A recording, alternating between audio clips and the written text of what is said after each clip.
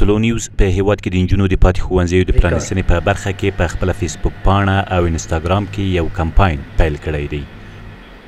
په دې کمپاین کې څه باندې څلور دېرش زره کسانو رایه ورکړې ده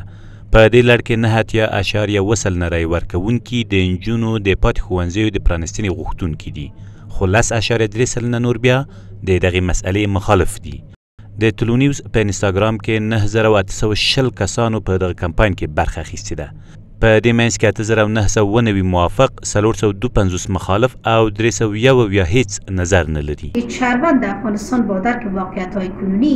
مخالفت با حق تعلیم و رفتن دختران به مکتب ندارد حتی یک درصدی بسیار کوچک هم که به این نظرسنجی آمده که گویا اینا مخالف هستند با رفتن دختران به مکتب اینا مخالفت و ممانعت ندارن اینا یک سری از ملاحظات بسیار کوچک فری و نگرانی هایی دارن که قابل حل است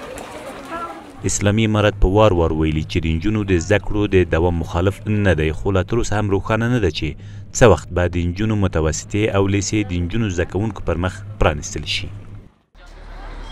له بل لوري یو شمېر زده کوونکي وایي، له دې ډېر باید یې پر برخلیک لوبې ونشي او ښوونځي یې پر مخ پرانیستل شي.